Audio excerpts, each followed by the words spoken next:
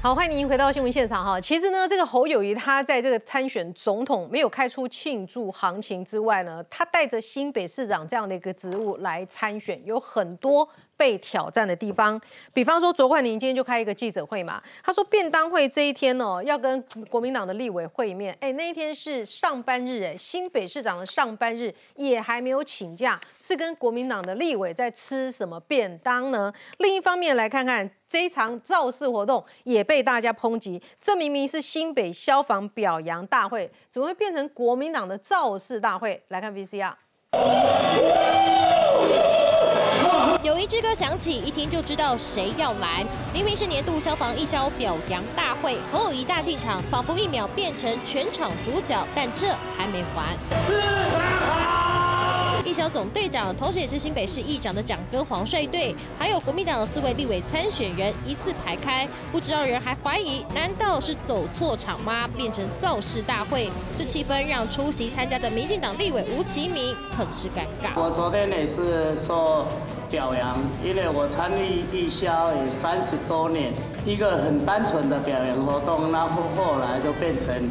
还有点走样，那我也很尴尬，啊，那我就先选择离开了。吴其明透露，因为太尴尬没上台，还提前离场。毕竟一整排都是国民党自家人，民进党立委显得格格不入。这也是为什么侯友谊市长他不愿意请辞市长的原因，他就是想要把这个市政资源呢用好用满，在他自己的竞选之路上。蜀军拒绝当侯友谊市长的背板，这样子的一个造势场合，其实市府最近安排的场次非常的多，那我们也拒绝。为侯友谊浪费行政资源做任何的背书，那什么赵市长，这嘴拢助力租赁企业，自己没有空不去，看不起侯市长，那你你就是安尼讲，你要睁眼说瞎话，为啥安尼讲？皮皮服要让人家哦，安尼奈掉。不满去了就成为国民党造势背板。侯友谊只表示，每年都会参加，广邀不分派系参与。但看看这市政行程，虽然没喊动算，但大进场还搭上友谊之歌，表扬大会变成造势，仅一。销的感受问题可不是蓝营说了算。现场还放友谊歌，会不会太夸张啊？哈，来，其实侯友谊早在去年已经找这个专业机构来执行这个焦点座谈了。焦点座谈的题目呢，也是针对自己的弱项。侯友谊他年轻，选票是非常之低的嘛，哈，所以呢，他就是针对年轻人来进行，是三十岁以下年轻人来进行焦点访谈哦。哎，把他主要的对手赖清德啊、柯文哲一起做。那么多数年轻人谈到赖清德，觉得说，哎，长得很像政治人物，龙请 C 中嘛，哈，干嘛正经八百最像政治人物的脸？那侯友谊呢，最不像，哎，像不？人家就问说，题目问说像不像政治人物的时候呢，哎，这笑脸的公，哎，不像，哎，很像路人哈。那么这个年轻人对侯友谊的长相形容像个路人，有些人不晓得他过去当过警察，所以呢，这个晋侯人士表示说，哈，哎。虽然不知道侯友过去的风光丰功伟业哦，逮捕过陈静心，还说哈陈静心是谁？所以呢，幕僚是哭笑不得。年轻人的部分在意柯文哲，觉得他很好玩，尤其柯在新媒体上运用哈，十分受年轻人的关注。所以呢，他们说这是侯友谊接下来要加强的部分。哎，讲完嘛，挺尴尬哈。然后哎，你觉得侯友谊 年轻人说像路人，他只能说看起来非常的亲民。哎，他们都搞错定义了。啊。我家有我家有两个大学生，一个国中生哈。嗯。他们讲的像路人，或者我们一般人讲的像路人，是指存在感很低。低了，对。嗯。要不然你说告诉我，路人总统也可以走在路上啊。走过去你也没印象，这样子。那个林志玲也可以走在路上啊。嗯。所谓的像路人的真实，我们都在做执行研究，这个 term 这个名词的意义叫做存在感很低。那一个全台湾最大的院辖是新北市的市长，嗯，让年轻人觉得他存在感很低。你你讲喝代这代级根本根本都不这代级啊，你你没有存在感呐，嗯，你对这个国家对这个都市，大家看不到你的作为，也感觉不到你的存在，这才是侯友谊问题。如果你要做执行研究，对名词的解释又搞不清楚的话，哈，还如研究如海，你敢在？如果人家告诉你你的存在感低，嗯，你应用在选举上，你可能让人家看到你有雄才大略，或者你对台湾的看法掷地有声。如果你说，哎，我长得像路边的人，那就开始请路边，那路边人要该穿什么样？所以他这样的定义是美化自己，说，哎，我有亲和力。嗯，侯友谊的亲和力是真的假的？你问议会咨询他就知道，这高避兵的啦。嗯嗯，他的 EQ 很低，很容易避兵。对。那他存在感低，现在是一个很严重的事情，就是这一位他是靠大家没有注意到他才累积声望，靠大家没有讨论到他，才养出声望。可当你成为总统候选人，一对一或者三组在那边打的时候，就要去检验你做了什么事，说了什么话。以前他讲名词讲错，大家不会计较，嗯，基本上公母第二不学无术，草包。所以侯友谊这个问题在这里，我若是他幕僚，我就要他个听啊，他以后要讲什么要注意到，不要有错误的存在感。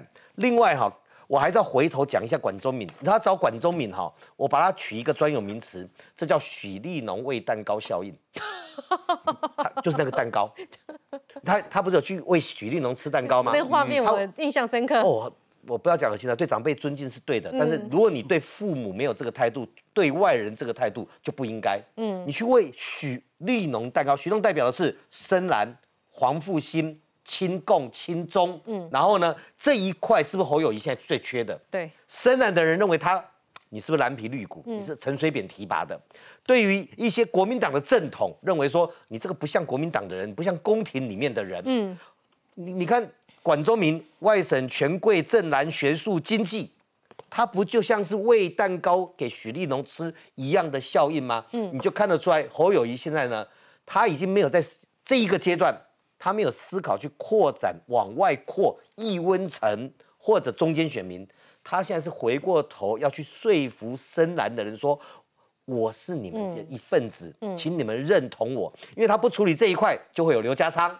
嗯，就会有郭台铭，不管有没有导弹，这选就会一直在那里。嗯，然后呢，他也还没有办法去处理地方派系这一块，因为这块也认为他无情无义，所以他这两块要处理多久？他要用副总统的职务来处理这两块吗？那你怎么往外扩到中间选民那一群认为你存在感极低，认为你是路人？那这个他的幕僚要去向社会解释，也要去塑形。嗯，好，其实。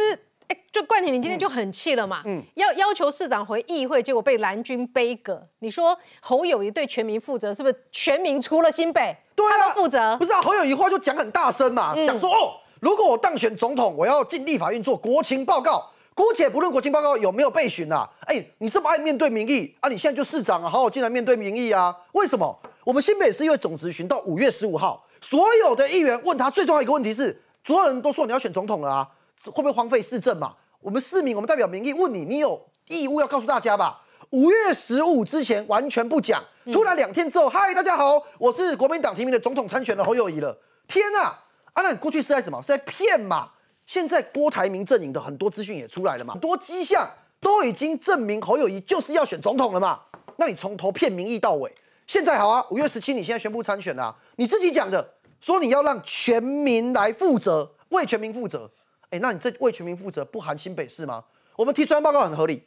现在侯友谊传出说他要一路代职参选，到九月才请假不请辞。嗯，可是传出新北市的副市长谢正达、副秘书长张其强、法律法制局长吴宗宪、局处首长、副秘书长、副市长要请辞进驻到侯友谊的竞选总部。天哪，乱了！市长当总统候选人不请辞不请假。市府的官员请辞去他竞走，啊，市政府是变空城，用尽所有的行政资源。你看今天这个画面为什么会闹出争议？这是一个义消的表扬的活动，义消表扬活动是市府公开行程，蓝绿民代都到到场。重点不是蓝绿民代，你那一天两百四十三个义消楷模啊，都是服役很久的，服勤很久的义消。哎，你知道那边画面为什么引发大家的愤怒？写这则新闻的记者是自由时报吴仁杰，以前是瑞德哥的同仁。他是专门跑新北市警消的，传消防跑很久。他这个人是完全不写政治新闻的，因为乱了套了。他连他都会写这个新闻骂这件事情，为什么？表表扬一消啦，一字排开，全部都是跟侯友谊要一起选总统的国民党提名的立委候选人，全部把中间的位置全部占满，然后把义消挤去两边。主角应该是义消对。所以，所以就搞成这样啊！可是就是行政资源的极致。所以慧明姐，我不担心他会变第三，因为他自己要不要变第三是他的事。可是对于我们来讲，你不能用市府的资源变成你竞选的机器，这是监督的问题。好，我们来看上报这篇专栏啦。哈，侯友谊的问题不是两岸，而是空心。他怎么说的？哈，哎，他说侯友谊的问题不是两岸观，不是不本土，是他几乎没有任何选总统的准备。熟悉新北市政府团队人都知道，侯友谊对艺文文化活动非常生疏。装个样子也不多哈，也这个通常行程就不安排，因为语言的关系，不喜欢跟外国人打交道。外国人参访来到新北，能不去就不去，都交代旁人代打。侯友谊确实不懂两岸，不懂国际。从总统参选人的角度来看，他的问题是外行跟空心。侯友谊现在打拿着反对台独、反对一国两制的无限回圈，可以打发台湾记者。但是如果他九月到美国的话，他以为自己可以拿着这一招办事糊弄美国的两岸专家跟国务院专员的话，这不只是天真，而是无知了。他的高民调来自于他身为国民党地方首长，却不像国民党，但现在坐上了国民党的权力顶端。民进党跟他形同陌路，郭台铭对他余怒未消，柯文哲笑里藏刀，等着超车。连联合报的民调呢？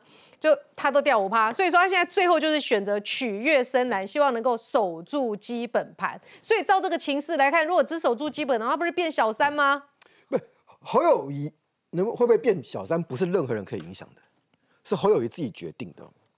其实不是人想讲，就讲一个很简单的事情：联合报跟国民党的关系，包括过去国民党有很多党内的呃初选，嗯，其实都会找联合报做。对啊，联合报啊，TBS 是他们相信的民调中心。那你在侯友谊宣布征召，隔天做了个民调，呃，侯友谊掉五趴。我直接那么讲了，媒体做民调一定要公布吗？是不是每一次都要公布？不会，不一定，不一定。嗯，有的时候不公布嘛。侯友谊跟联合报的关系，侯友谊有能力影响人事，哎，嗯，地方记者人士，他。他下面的人居然就让联合报把这个新闻发出来，坐在头版头，很反常。嗯，他可不可以拜托一下这个民调这样子那么难看五趴？如果今天联合报不公布，有没有人知道？不会有人知道。哎，嗯，侯友谊身边下面的人有没有人有能能力处理啊？我为什么讲影响人事？联合报的的人事有一些人事他都已经有影响力了，他会没办法拜托联合报？这个这个这个，我这个选举行情都还。红利都还没开始，你不要泼我这个冷水嘛。嗯，我没有叫你作假嘛，你可以不要公布嘛，你可以等下十天、二十天，下个月再公布嘛。这样做有没有很过分？我给你拜托嘛。嗯，对不对？嗯，我没有讲它影响新闻自由。嗯，好，再过来，因为嘉宏写那一篇哦，我用另外一个方式讲。我有最近跟跟那个《美岛电子报》的吴子嘉董事长他们有合合办很多活动嘛。对，呃。就是那个董事长开讲，预计应该是三场嘛。好，第一场已经办过了，在三重。你知道吴吴董在办这个活动哈，他所有你所有看到的东西，他其实就是一场秀。哦，这是场美式选举的秀。嗯，所以他很多东西其实是有沙盘推演的。哦，当然不是不是不是像演戏一样一一都有脚本，不是那个事。但是你要讲什么话都会有准备的。嗯，侯友谊上去那个姿势什么，他事先都要让他教一下，否则你又不知道手脚摆哪里嘛。因为那个侯友谊跟你平常看到四一侯友谊是不大一样的，嗯，因为那就是场秀，所以你要戴那种像像这个贾博士那样的耳麦样子。你所以注意看那一天的侯友谊哈，因为侯友谊不不大能背稿，他背不起来，所以呢，他他讲话就会他只能抓一个纲要。好，这个时候就有一个麻烦，不小心会讲错话。嗯，那天是不是就讲错话？嗯嗯，在介绍谢荣介的时候，嗯。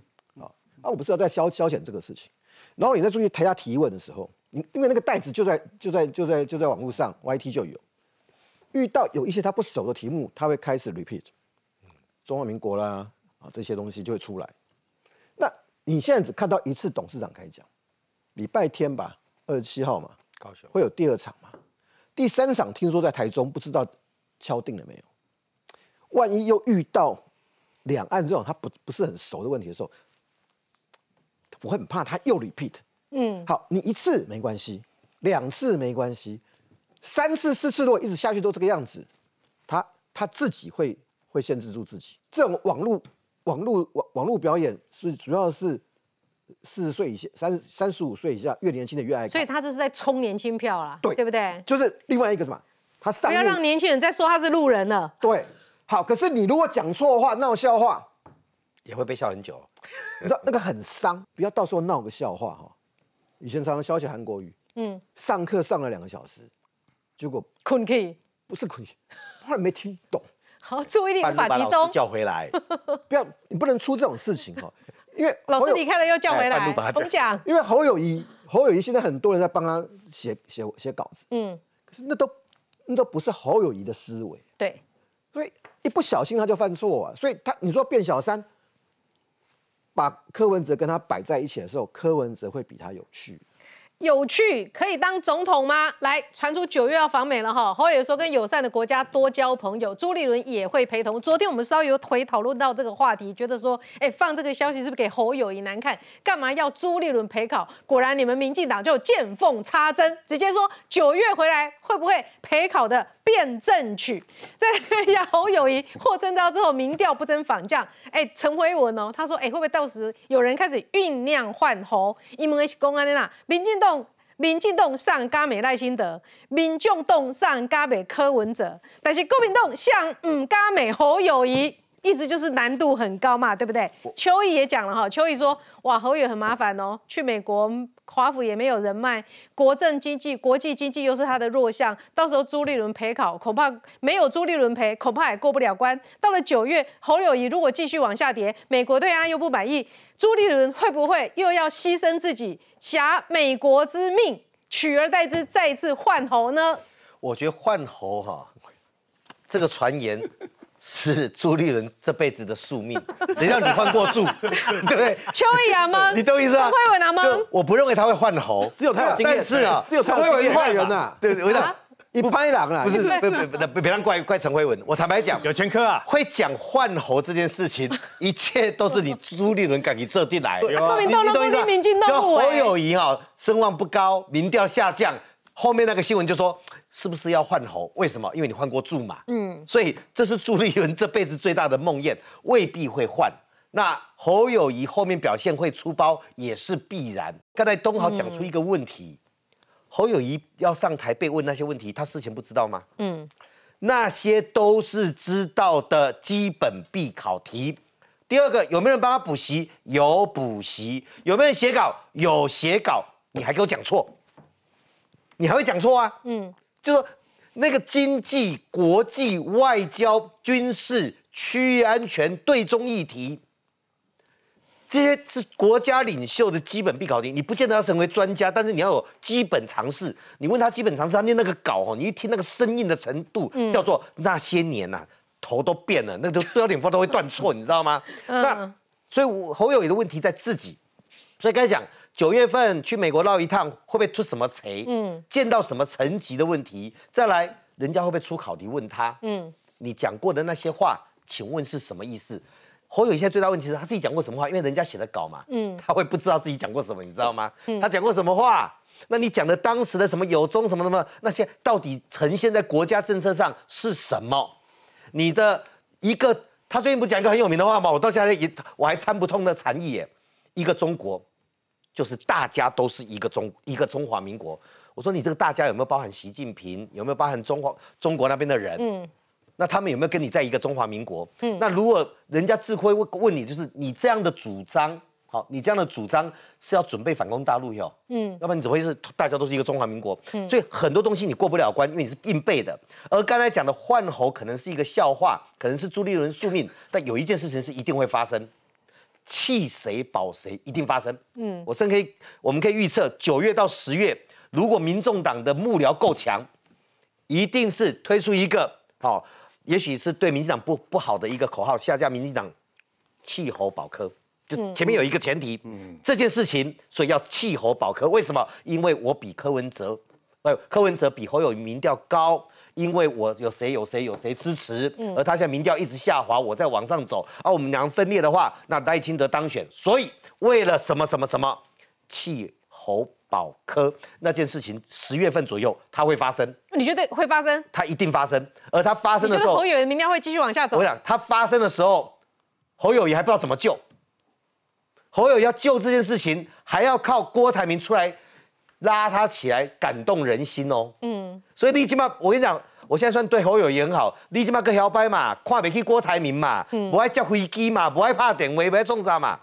你到十月份这个时候，你需要有人跟你手牵起来的时候，那可能可能是朱立伦，嗯，那可能是可能是韩国瑜，那可能是郭台铭。你到时候没有手要让你牵的时候，哈，你都不会有意要。这个事情在选举的节奏上，十月份应该会发生的。我我插一句话了，对不起，因为我觉得挺呃侯身边呢，还有国民党中央有一些人蛮骄傲的，嗯，那个骄傲叫什么？就是说他们对于郭台铭跟侯友宜的这场征召民调里面，他们就认为说侯友宜是让一只手，我扭几个手，哦我，还赢。这弄不造势我嘛？我我讲，我就我不要来被歌咏我啊？我不要讲名字哈，因为、嗯因为有一些有一些不是很年纪很大的国民党的朋友，嗯那我我我我就我讲这个意思就是说，那个心态如果在侯身边继续有的话，那带那民调会被这个这个会超车很糟糕。来，老师，呃，我觉得刚刚讲说他有找年轻人来做焦点团体啊，表示他重视年轻的票。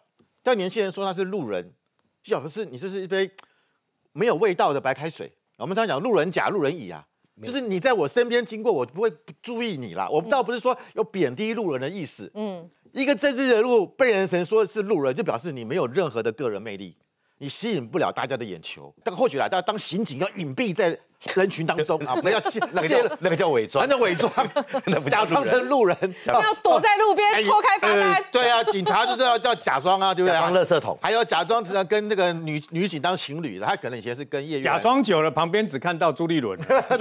所以我说，他如果真的他去美国，嗯嗯，他一个苏立伦说要去，哎，这个消息很奇怪，这个消息不是是国民党中央党部办的哦。对放的。对，我跟你讲，他如果跟朱他跟朱立侯友宜伦一起出现在美国，美国人以为侯友谊是朱一伦的随扈啊，嗯。你你是来出来挡子弹的，嗯。对他长得样子三本头的那样样子，就觉得他就是啊朱一伦一表堂就一表讲英文啊，后后一不讲英文啊，嗯。所以我觉得这些东西，所以这个东西它的反差就很大。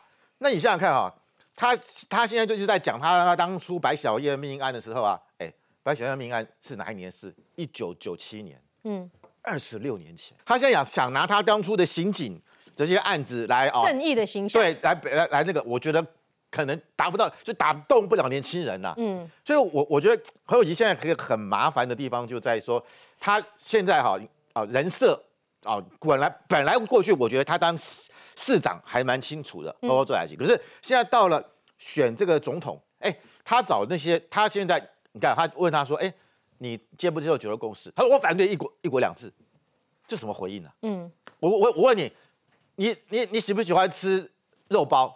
我爱吃汉堡，哎这这什么这怎么这什么回答、啊？嗯，我是在问你爱不爱吃肉包，你跟我讲说你爱吃汉堡，那两个问题嘛。嗯，所以我觉得说，今天侯友谊他在这些问题讲，你去美国，人家怎么考？你要问你的时候，哎，九二共识是国民党的党章里面核定的哦。你是国民党目前推举的总统候选人，你介于九二共识，你竟然啊不知道要如何回答。你会不会觉得侯友谊就是不讲支持九二共识，他还可以保持他的本土蓝的？没有，他本来想这样，他过去深蓝就是要投他，对他心里就是打这个算盘。他过去就想说策略能不能成他？过去想着说，你看啊，我好像不蓝不绿，对嗯我可以申请到一些浅绿的票，就是我是阿扁提拔我当警政署长，对不对？我可以申请到绿的票。哎，我是国民党的这个提名者，蓝营他这个策略在新北市两次选举都成功了。蓝营啊，含泪会投我，嗯但是新北市因为都没有两岸议题嘛，是所以很多蓝营的人或者黄复兴的人觉得你无害嗯，啊，我反正我我没有别的候选人，我投你，反正我啊我也不会觉得不好。啊所以你觉得总统选举他要讲清楚？刚好相反，他现在被人两面那个摩西啊，和海往两边靠了。绿的人，因为你是国民党籍，嗯所以虽然你说你反对一国两制，我也不会投你，嗯，因为你不够绿。蓝营的人、三蓝的人啊，觉得你不够蓝，你不，你竟然敢违呃不，你看反对一国两制，这个也不行，就变成蓝绿都各自归队。我觉得这个是侯友谊都不讨好目前最大的问题。好，其实呢，这个国民党智库也是有帮他忙的哈，建议他说呢，哎，我们就瞄准绿营执政的治安痛点，你就三件拼正义好感度，好，这个怎么样？要加深警探的正义形象，也要加强三十岁年轻人对他的好感度。所以他昨天不是很大声说，赖清德，你难道不用负责吗？诈骗集团的事情，难道你不用负责吗？好，而且呢，也宣布了。侯友谊如果当选，要恢复特侦组，哇哇哇哇什么呢？哇，民进啊，防疫贪渎的弊案，就是接续吴子嘉、吴子嘉红哥嘛。好，艾金买这接续防疫有没有什么弊案？好，这个就要把这个气势做出来。结果侯友谊说，哎、治安是我的专业啊。民进党马上说，哎、今年新北刑案全国最多、哎，严重到什么地步哦？那卖 B，但的 B 一同期，他一样是他当市长，你心不在新北市的时候，状况是什么？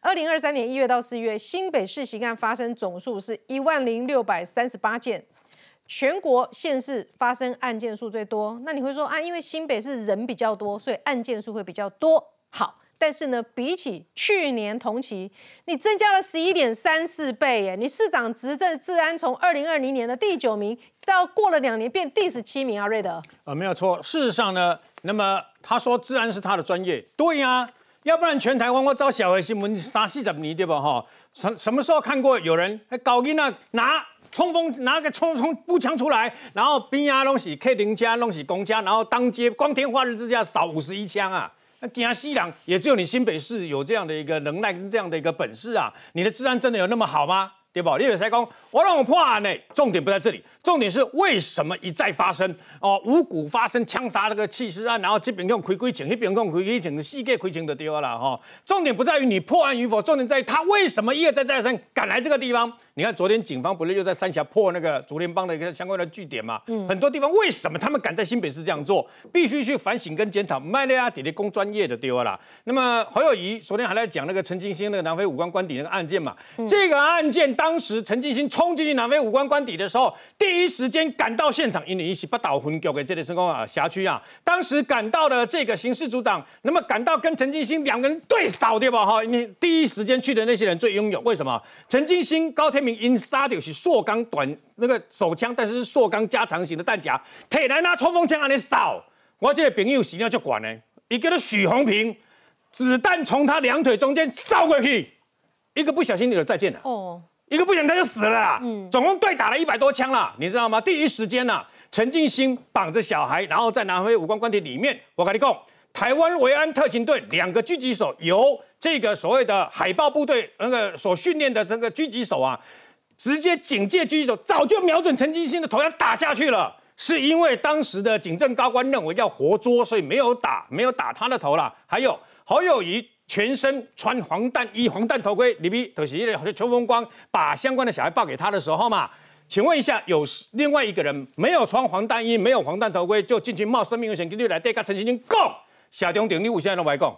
你为什么侯友谊不讲这个现场庭啊？你有听到侯友谊去讲到说，哦，那时候第一时间来的是，包括我刚刚讲的这个几个几个警官跟他枪战差点死掉的那几个，他有讲过吗？没有嘛，没有错侯友谊有贡献在警警戒治安里面，但不是光环都集中在你一个人嘛。洪孟凯今天也不是讲的炸油啊，是安那对吧？哈，至少洪孟凯敢讲，他说侯友谊的团队要加强加紧脚步啊。总统的职权是外交、国防、军事、两岸两岸呐。现在不讲，以后辩论也会讲啊？为什么不赶快讲呢？然后还有，民调第二名代表什么都缺，不用自己骗自己。哎，一样的讲嘞，他讲他第二名了。哎，一个啊，他承认他第二名啊。他说民调就是民调就是不用自不用自己骗自己啊。然后呢，大家要知道方向在哪里，党中央要有明确的战法、战术、战略，好好跟总统参选人对接。大家都没有拿出办法，会让支持者失望啊！哎，给中给人安尼讲嘞。讲个什么意思？一讲是实在话啊！他本来算猴戏的哎，他不是他侯友谊现在一定很会炸在外的不会给你抢。侯侯孟凯一定是吃了诚实，告诉你诚实豆沙包，告诉你，因为因为已经巧合啊，够出来。可是至少人家敢讲真话啊。侯孟凯啊，过去我看他在国民党内都很温和啊。怎么这现在变得很很很很很激烈了哈？因为有影响到选情了。对，因为选情不好，或者大家看到他可能胜选无呃，看很危很危险的看起来哈。那我看他这样讲了，吃了诚实豆沙包啊，开始讲实话了。但他也不要担心呐，因为现在就算没选上，哎，侯友谊现在市政府缺了好多员额哎，很多人都跑去什么局长啊，都跑去大家帮侯友谊啦，副县副市长也跑掉了吧？就不用担心啊，我们没没选上，孟海兄还是有很多位置的。我觉得国民党现在，哎，现在新北市哈那个市政府哈开始这样大门口贴哇真人启事了哈。国民党这个年轻有有识之士，赶快去争取哦，都是高阶文官了。我所以我觉得国民党现在真的洪孟凯他讲出了一个侯友谊，他这都两个都姓侯嘛。侯侯讲出真实话，我觉得这次大家可以拭目以待。好，但我不明白的是，为什么新北市哈这个刑案比去年同期增长了十一点三四？哎，侯友谊侯市长也没。哎，我我在这里补充一下，我跟你讲，很讲不要用那不要用那个所谓的人口比数，为什么？因为新北市有四百万人，所以利用那避雷公关新北市发生率比较低，不要用这个东西。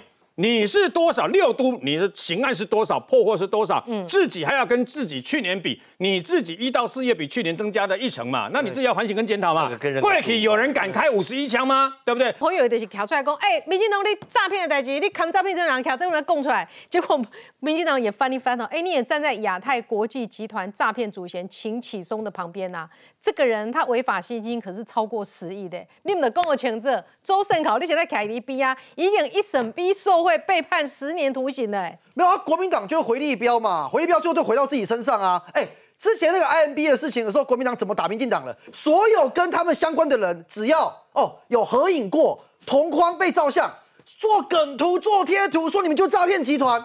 啊，用徐小新一样的标准啊，这个是谁？这秦启松啊，啊，秦启松当时我本来不知道，我们不知道是谁啊，是谁？让揭露说他跟 I M B 这个诈骗是同一票人？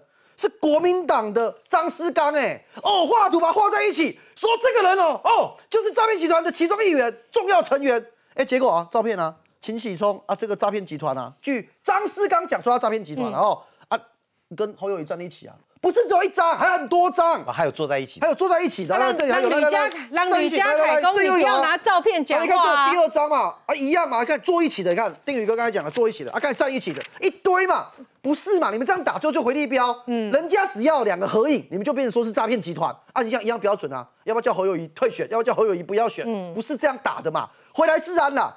刚刚瑞德哥讲了，我我讲，那我给一点你时间讲个缘由。侯友谊在二零一八年接棒朱立伦的市长的时候。刑案发生数六都新北就是最高，六都第一。因然后我认为到这也没问题，因为新北是人口数就是最多嘛，哈，所以发生数最多，我能理解。可是我要谈的是说，你要选总统前跟选总统后有没有变化？市民有没有因为你选总统之后自然变差？答案是有嘛。侯友谊在第一任四年市长的后面三年，他让新北市的刑案发生数压到仅次于台北市。就是我们的最，我们不是最多了，最多变成治理比较无能的柯文哲，变成台北变第一了，嗯，新北市掉到第二了。哎，当时我跟你讲，再不满意侯友谊的人，也觉得说，哦，你侯友谊，你当行政署长出身的，你的认真打击犯罪数字有显示出来啊，不是做不到。对，那我问一个问题，嗯，为什么同样数字、同样的指标，在去年以前，他的市长第一任的后三年可以压到不是六都最多，到今年的第一月份的一开始哦，是一月份到三月份。又回到六都最高，有心没有心而已。加四月份又一样是六都最高，嗯，所以我我觉得这没什么好讲了。你没心，你就让整个刑案发生数变多，然后呢？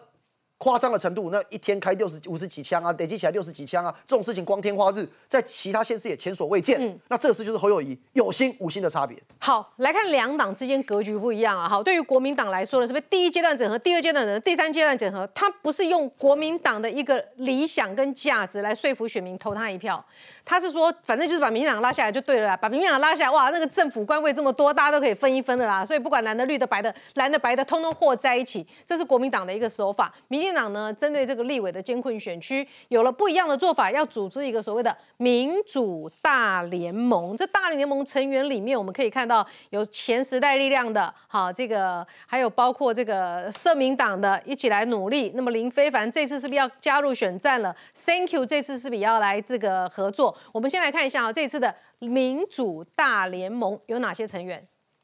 二零二四。团结一致，振臂握拳，高呼口号。民进党主席赖清德领军推出三刺客，吴征、李正浩、曾博瑜出战新北立委监困选区。今天我们所介绍的三位年轻人，他们都来自不同的政党。民进党不敢画地自限，要推动台湾进步，必然要。重视年轻人。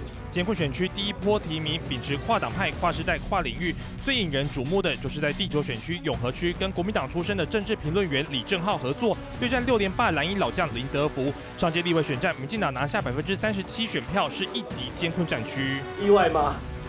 我蛮意外的。从蔡英文总统到赖清德主席，捍卫中华民国、捍卫台湾的方式，跟我高度一致。另外，新北第八选区推出综合在地子弟太阳花世代的前世代力量发言人吴征接棒江友昌对战前蓝委张庆忠儿子张志伦。第十一选区新店区征召曾代表绿党参选的曾博瑜对决罗明才，两人都将加入民进党。我的对手是来自张庆忠家族的公子。张庆忠当年在立法院的半分钟事件，就是引发我们当年太阳花学运。所有十一选区的乡亲都清楚罗明才的黑道背景，他服务的是既有的利益结构。担心的不止提名年轻世代抢攻年轻票，中指会上找来网球国手卢彦勋报告，似乎也把目光瞄准体育界。难不成不分区立委有意跟他合作吗？替体育发声，我们都很愿意一起合作。我们是没预立设立场，但也今天也没有讨论到这个不什么不分区这体育的专场，在在这个上面来讲的话，我觉得都我们都乐观其成。绿营刺客兵团陆续出击，力拼守住国会过半席次。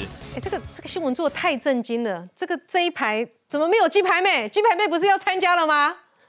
你选策会的讲一下，哎，是怎么样的一个考量？我们还没有亮点，是不是鸡排妹？我们还没有逛到夜市买鸡排那一拍，你下一下跑到鸡排面，我不知道怎么，我不知道怎么去讲李正浩了，你知道吗？不，基本上这是一个概念哈，一个概念就是劲敌民主政治不应该归挖旁。嗯，赖清德当然要努力选上总统，因为总统对国家的影响太大，选错人是无法回头的。但国会是一个监督。制衡的力量，而国会也很重要。嗯，所以民长这一次面对国会的态度，我举一个最明显的对照。上一次蔡英文总统选举的时候，我们口号是小英当选，国会过半。可是这一次是赖清德当选，后面国会过半，我们没有跟着这样做喽。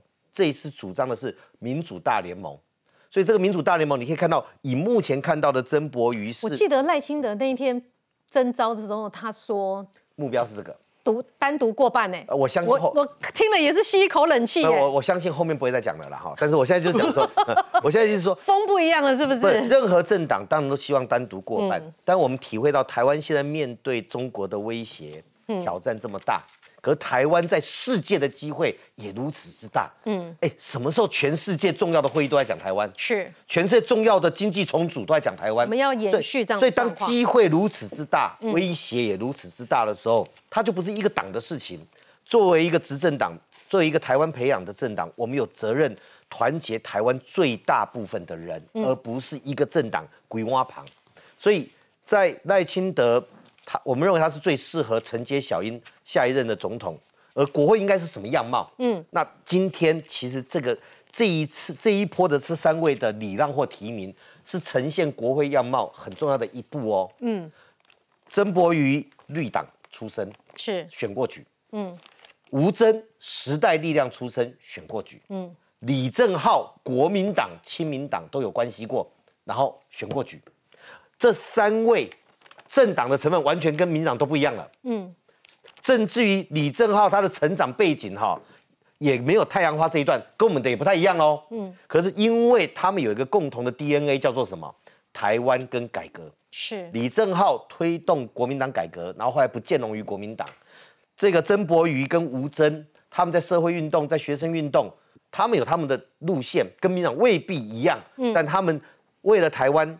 也为了改革，这两个 DNA 是台湾年轻时代很值得加，我觉得佩服的勇气嘛。嗯，所以用这这个标准，我我可以预告，我们在未来你还会看到很多个这样的组合。啊，对呀，你赶快跳过来讲郑家纯吧。郑家纯鸡排妹哦，鸡排妹我就认识。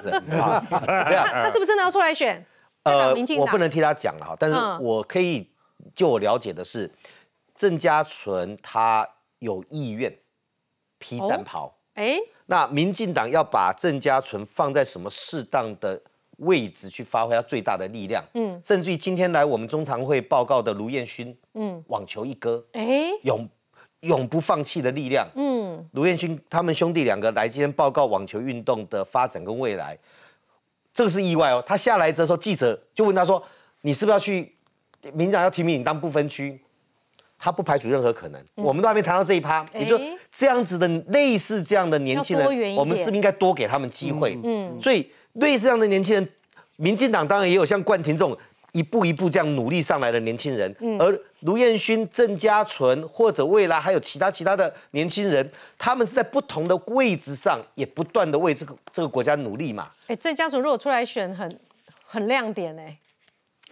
这个要看放在什么位置了，但是我现在就觉得郑家纯，那我就我知道还有几个蛮漂亮的名单呢。哎呦，你们也想象不到的。哎，那他可能也会出现在，那有的会代表民进党、入党，嗯，有的会无党，好，或者不同的路线，那我觉得那个就是一个民主大联盟持续大改革。我要代表政论节目谢谢你们，给我们比较多的话题跟亮点哦。哎，广告之后我们要连线李正浩，李正浩原本就是感觉比较偏蓝的色彩，虽然他对这个蓝绿两党都是批评的，那么为什么这次决定要跟民进党来做合作呢？马上回来。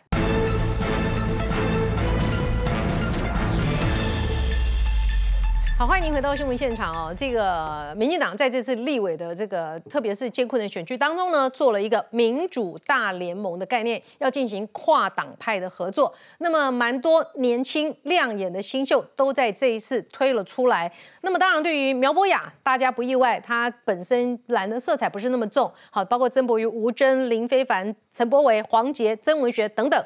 啊，曾文学在苗栗也非常的出色哈。这次如果真的能够出来选三线立委，说不定也是有机会拿下苗栗一席哦。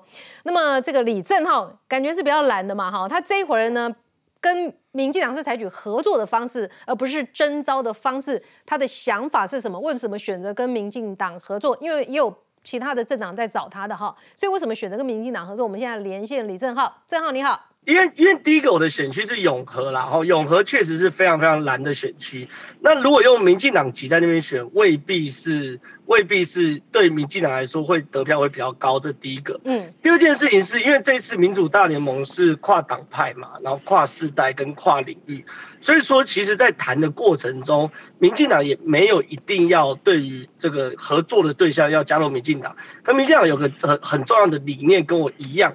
就说我们在内政方面未必完全都一致哦，但是我我们觉得这是关起门的事，嗯，跟门打开，面对中国的威胁，我们都有同样的理念，是我们要让台湾变更强悍，来面对中国威胁，来抵御。可是国民党是完全相反的嘛，是要呃和谈嘛，要委屈嘛，要求全嘛，所以其实，在谈的过程中。只要在大架构对于本土力量希望更强悍，然后更团结的理念相同的话，民进党都可以合作啦。好，就我所知，其实有其他党跟你接触。好，你现在还蛮夯的嘛？那你为什么没有选择？你为什么没有选择民众党而选择民进党？呃，我觉得状状况是这样。第一件事情哦，我认为此时此刻台湾最重要在二零二四要面对的问题是我们在一个交叉路。可是，在外交、两岸、国防事务上，我跟民进党的。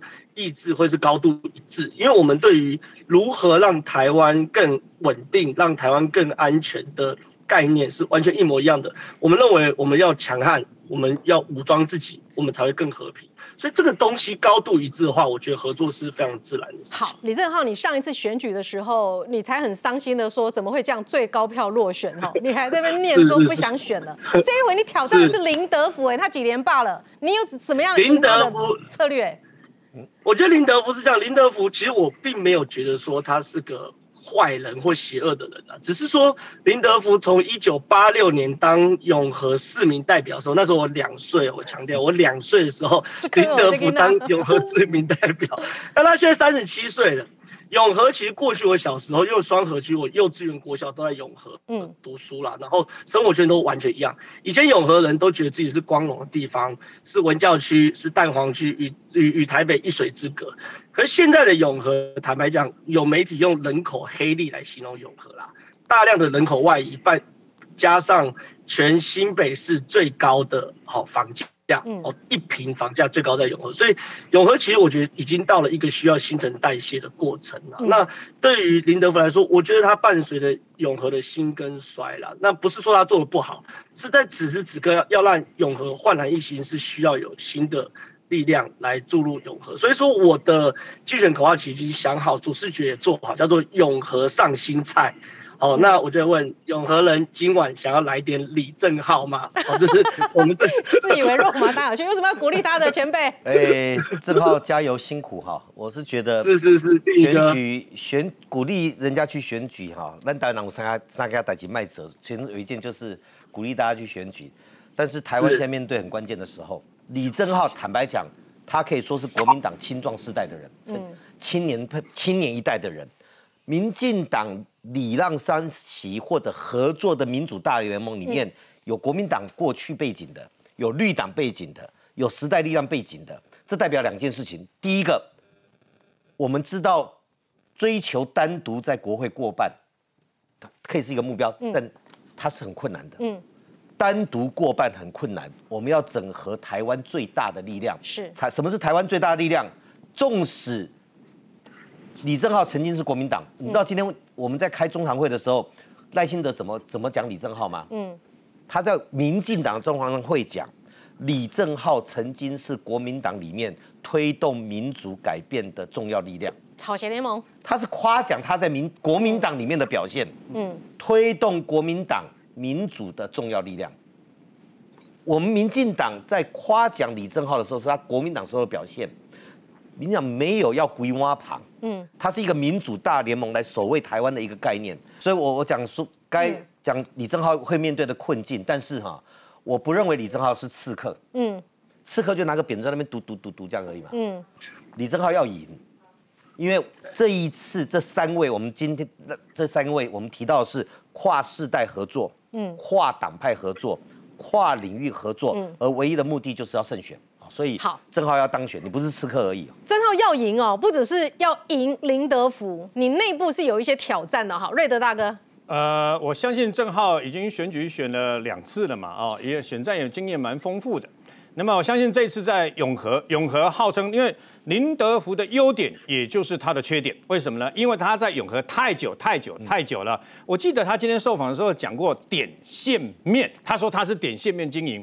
我突然间想起一个人，费鸿泰也是啊，费鸿泰也是点线面经营啊。费鸿泰在国民党内部都会输给徐小新啊，所以李正浩加油啊！啊，姜虽然是老的辣，但是姜也太老了，老姜太老，所以李正浩要加油啊！嗯，好，谢谢谢郑浩，谢谢谢瑞德哥。好，我们来看中国的状况哈。虽然有一位台湾人，他是跆拳道得奖之后拿着五星旗在那边挥啊，然后批评台湾是鬼岛，说台湾没有言论自由啊。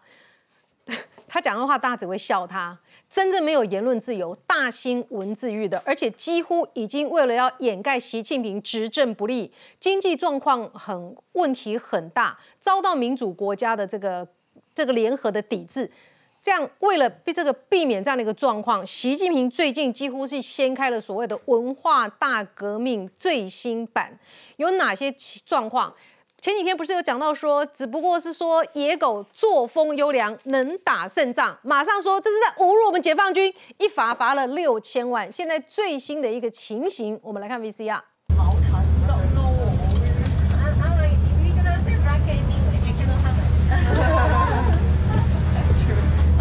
就是这几句话彻底惹毛全中国。香港国泰航空一架从中国成都飞往香港班机，有几名空姐人都还在机上，却疑似聚在一起讥笑索要毛毯但不会说英文的陆客，结果被其他中国乘客当场听见录音，随后果断上传。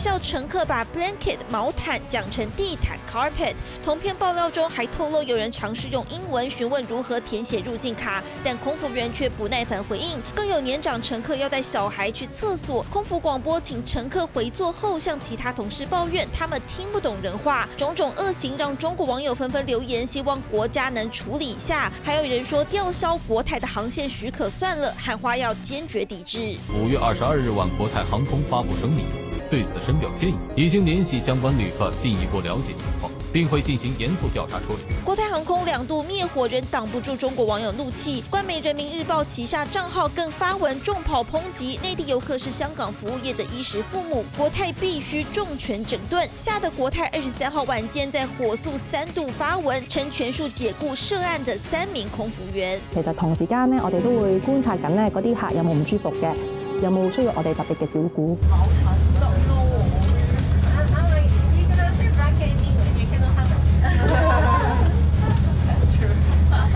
广告拍的梦幻，现实中几句玩笑话让国泰遭到全中国扬言抵制。国泰航空自己恐怕也没料到，歧视议题竟成了在疫情后的最棘手挑战。中国人觉得被侮辱，结果这件事情是野火燎原一般。一开始只是一个网友他发文举报，说他怎么这空服员怎么可以歧视不会说英文的人或者是粤语的人呢？因为国泰。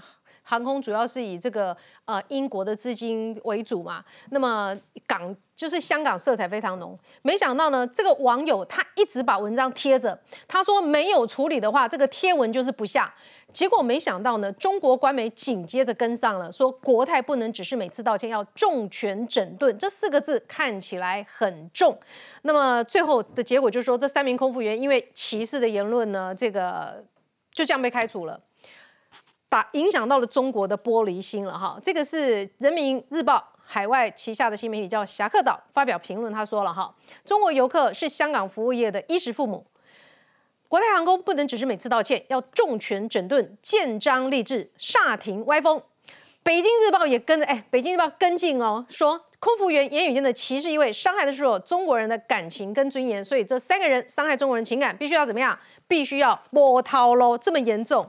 接下来再来看看脱口秀演员之后呢，中国这个很知名的艺术家也被说侮辱解放军，为什么？这个岳敏君他的画在这个国际之间是有拍卖价格，而且创下中国新高价的哈，说把解放军画到一个。长毛长脚，这怎么行呢？是有入国军，哎，开始出征呢，哎，观众朋友，他的话现在我们是摸不上了，太贵太贵了。好，解放军这样这样为什么会有入国军？我不懂，所以我要请范老师这个中国研究在那里这笑眯眯的很可爱啊，哎，国际拍卖价很高哎，为什么这样有入国军？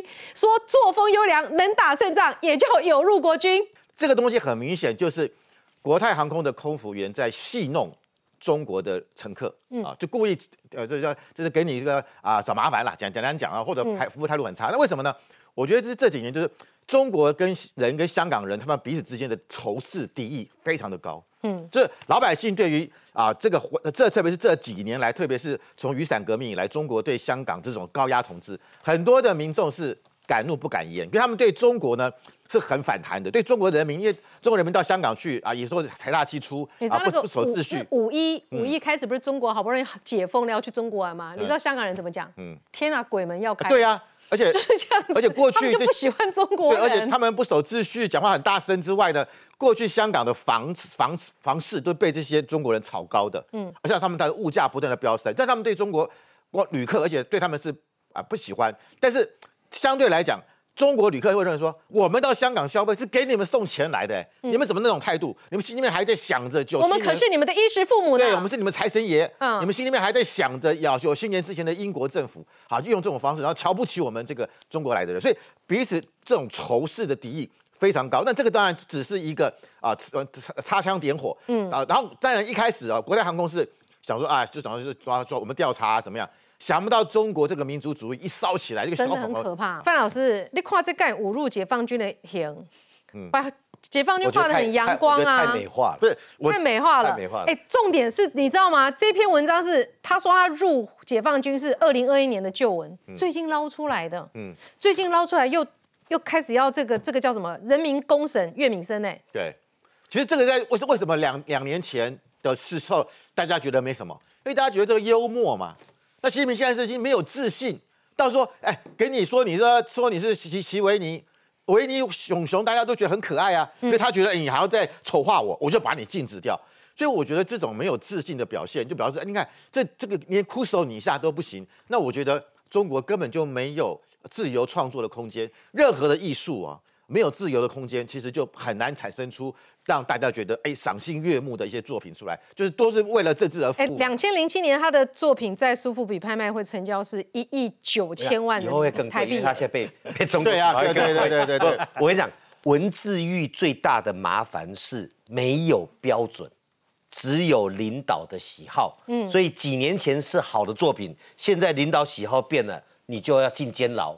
你知道吗？那个脱口秀演员李浩石，那个作风优良、能打胜仗，是完全模仿习近平。每次到解放军就说听党指挥，作风优良，能打胜仗。然后下面解放军就写哦嘿这样子嘛哈。嗯，他是在用那个词来演这个段子，以前有过。那这次被弄出来说你在侮辱习近平，习近平不高兴了，下面揣摩上意，就罚他将近六千万台币，还要抓去关三年。嗯，然后呢，有人就提出说，哎，那不对啊。那个吴京哈，中国影星吴京把解放军比成狼，战狼嘛，比成狼，那有没有侮辱解放军？要不要把他抓去关？要不要罚六千万？当狼当狼可以，做狗不行，这什么道理啊？歧视狗，狗比较忠实可爱，狼是恶劣的耶。嗯嗯，所以藏狼有没有侮辱？那捉狗不行，完全就是领导者小，这就是独裁政权的特色了。